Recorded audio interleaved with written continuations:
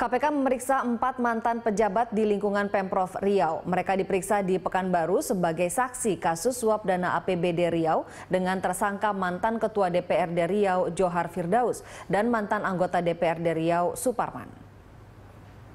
Empat saksi yang diperiksa adalah mantan asisten 2 Wan Amir Firdaus, mantan sekretaris daerah Zaini Ismail, mantan kepala Badan Penanggulangan Bencana Daerah Riau Said Saklul Amri, serta mantan kepala Biro Perlengkapan Pemprov Riau Ayub Khan. Keterangan empat saksi berguna untuk melengkapi berkas dua tersangka.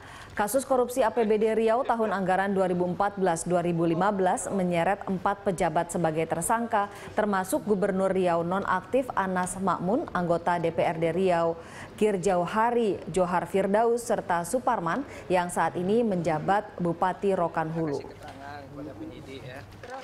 Terkait apa Pak? Hah? Terkait apa Pak? Terkait mengenai pembahasan APBD.